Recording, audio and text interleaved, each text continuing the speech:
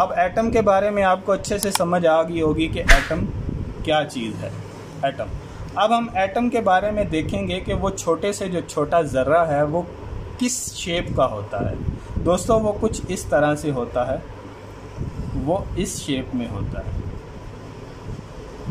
दोस्तों ये एटम की शेप है। अगर मैं एटम की बात करूँगा तो वो इस तरह से उसकी मेरे माइंड में आ, मेरे माइंड के अंदर उसकी तस्वीर बनेगी। इस ये दरमियान वाला जो दायरा है छोटा, जिसमें मैंने प्लस का निशान दिया हुआ है, इसको दोस्तों न्यूक्लस का नाम देते हैं। ये आपका न्यूक्लस है।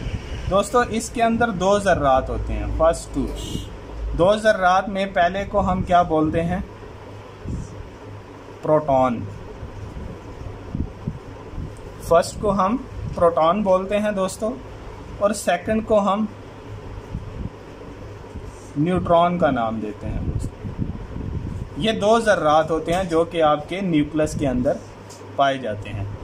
और दोस्तों, ये एक ज़र्रा है जो इस दायरे के अंदर घूमता रहता है, मूव करता रहता है दोस्तों। ये मूव क्यों कर रहा है दोस्तों? ये इन दो ज़र्रात की वजह से ये मूव करता है। ये दो ज़र्रात इसको खींचते हैं, ये कशिश करते हैं, इसको अपनी तरफ़ खींचते हैं, ताकि ये जो इलेक्ट्रॉन है, ये भी इनके पास आ जाए। तो जब इनके खिंचाव की वजह से ये मुसलसल मूव करता रहता है ये इस दायरे के अंदर। इस दायरे को क्या कहते हैं दोस्तों? इस दायरे को शेल बोलते हैं। शल, उर्दू में इसको मदार बोलेंगे। और इस दायरे के अंदर ये जो ज़र्रा घूम रहा है, इस ज़र्रे को दोस्तों इलेक्ट्रॉन का नाम देते हैं। इलेक्ट्रॉन दोस्तों, हम अपने टॉपिक के करीब आते जा रहे हैं। ये जो इलेक्ट्रॉन है दोस्तों, ये जो मैंने लास्ट पे थर्ड वाला जो ज़र्रा है, जो इस एटम के अंदर मौजूद है इलेक्ट्रॉन बेसिकली हम इलेक्ट्रिकल वाले इसी इलेक्ट्रॉन के बारे में स्टडी करते हैं। दोस्तों, ये जो इलेक्ट्रॉन है, ये बेसिकली दोस्तों किसी मटेरियल का एक ज़र्रा है, छोटा ज़र्रा, उस ज़र्रे को मैं डिस्कस कर रहा हूँ। वो किसी भी मटेरियल का हो सकता है। ये मैं बार बार आपको बता रहा हूँ, क्योंकि आगे जाके हमने इस मटेरियल के बारे में मज़ीद डिस्कस करना है। तो दोस्तों, ये किसी भी मटेरियल का एक छोटे से छोटा ज़र्रा है, जिसको मैं डिस्कस कर रहा हूँ। दोस्तों, ये जो इलेक्ट्रॉन है, ये इस शेल के अंदर मूव करता रहता है। ये अपने शेल को छोड़ता नहीं है। और जब तक ये अपने शेल को नहीं छोड़ता, ये स्टेटिक हालत में है, ये स्टेबल हालत में होता है। मतलब कि एक बताने का मकसद ये है, जैसे ये एक वायर है दोस्तों, हम फ़र्ज़ कर लेते हैं इस वायर का ये जो कंडक्टर है, इसी कंडक्टर का ये छोटे से छोटा मटेरियल है, ये एटम है इस कंडक्टर का।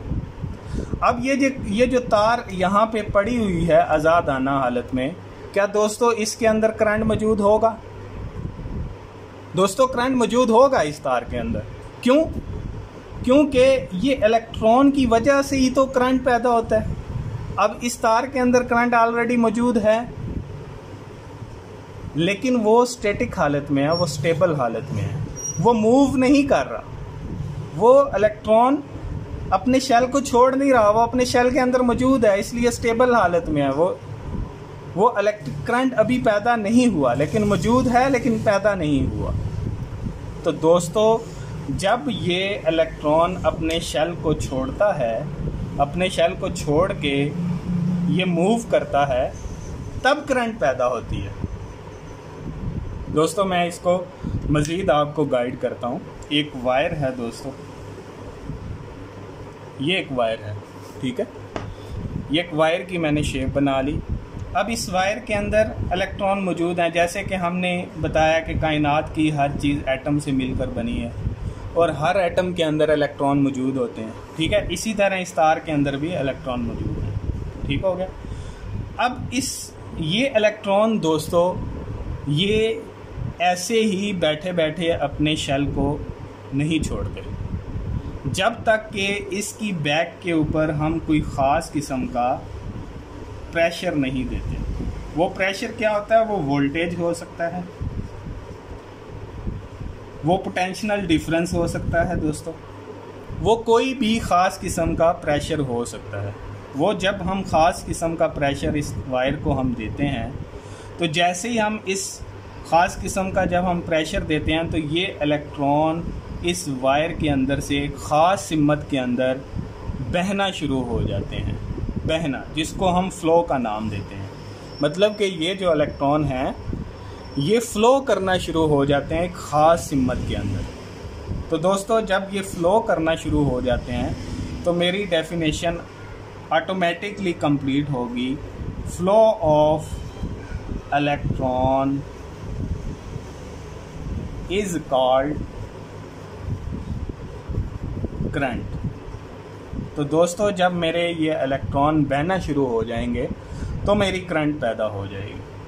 तो दोस्तों, ये था हमारा आज का करंट का टॉपिक ये इस तरह हमारी करंट वजूद में आती है। तो दोस्तों, जब मैं आपको बता रहा था कि करंट कैसे पैदा होगी? करंट का वजूद क्या होगा? करंट वो किन मटेरियल किन ज़र्रात से मिलके बना है? वो है ये इलेक्ट्रॉन दोस्तों, ये जो इलेक्ट्रॉन है, इसके मूव करने की वजह से आपका करंट वजूद में आता है। और ये मूव क्यों करता है? वो ख़ास किस्म का एक प्रेशर होता है। दोस्तों, ये प्रेशर और वोल्टेज के बारे में हमारा नेक्स्ट टॉपिक होगा। हमारा दूसरा या तीसरे लेसन के अंदर हम प्रेशर के बारे में पोटेंशियल डिफरेंस के बारे में पढ़ेंगे कि वो जो ख़ास किस्म का ये जो प्रेशर है, ये ये क्या चीज़ है? जिसकी वजह से ये हमारी करंट वजूद में आ गई, हमारे इलेक्ट्रॉन फ्लो करना शुरू हो गए। ऐसी बैठे बैठे वो फ्लो करना शुरू हो गए और वो कौन सा ऐसा ख़ास प्रेशर है? वो कौन सी ऐसी बला है जिसकी वजह से ये इलेक्ट्रॉन हमारे मूव करना शुरू हो गए? तो दोस्तों, ये नेक्स्ट लेक्चर में हम पढ़ेंगे। उम्मीद करता हूँ दोस्तों, आपको अच्छे से समझ आई होगी। दोस्तों, किसी किस्म का कोई क्वेश्चन हो, किसी किस्म की कोई कन्फ्यूज़न हो तो कमेंट बॉक्स में मुझे ज़रूर बताना। तो एंड पे मैं आपसे एक ही रिक्वेस्ट करता हूँ कि वीडियो को ज़्यादा से ज़्यादा लाइक किया करें शेयर किया करें और सब्सक्राइब किया करें। दोस्तों, मेरी दुआ है कि अल्लाह ताला आपको हर किस्म की मुसीबत परेशानी से दूर रखे और अल्लाह ताला आपको अपने हिफ्ज़ अमान में रखे। ढेर सारी दुआओं के बाद मैं आपसे इजाज़त चाहूँगा। अल्लाह हाफिज़।